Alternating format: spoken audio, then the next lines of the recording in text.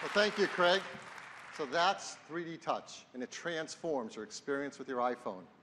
Inside your iPhone it's the fastest chip we've ever built into a phone, the new A9 chip. Also our third generation 64-bit chip. It's built with a new transistor architecture. It means we can drive faster performance while being more energy efficient. And our software team has worked together with our chip team to enable it to be maximum performance for the kinds of tasks we do every day. And it delivers a big jump in performance. Compared to the A8, it is 70% faster at CPU tasks. And at graphics tasks, it's 90% faster. This is a big jump in performance. It's going to make using our phone so much faster and a lot more fun. So what can you do to have more fun with your iPhone with all this graphics performance?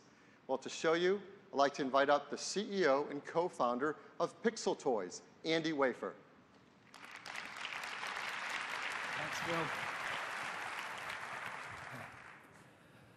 I'm very proud to show you Warhammer 40,000 Freeblade running on the new iPhone.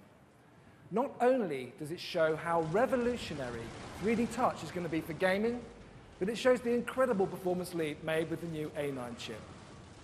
For the first time in Freeblade, players are going to get to take command of an Imperial Knight, a massive 50-foot tall battle mech.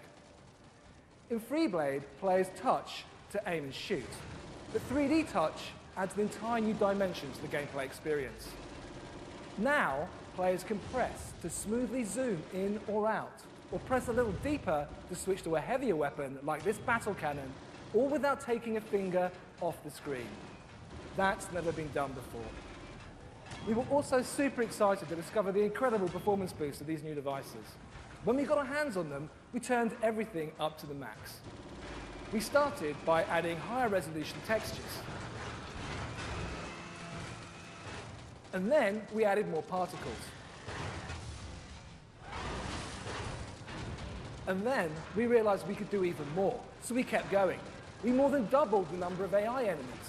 We added a huge number of additional destructible objects to the scene to create this more visceral, action-packed experience. We added a focus blur effect that's activated by the 3D touch. We added full screen bloom to beautifully flare the lights and the explosions. We added dynamic cinematic color grading to the entire scene to create this rich visual look. We never imagined we'd be able to get this intensity of action in the game. And then we added every single other effect we had. Lasers, traces, fire, smoke, and even bigger explosions. With Metal and the A9 chip, we were amazed to find we could do all of these effects simultaneously in active gameplay, and all at a smooth 60 frames per second. And of course, Freeblade's only going to look and play like this with 3D Touch on the new iPhone. Freeblade's coming to the App Store this holiday season. Thank you, guys.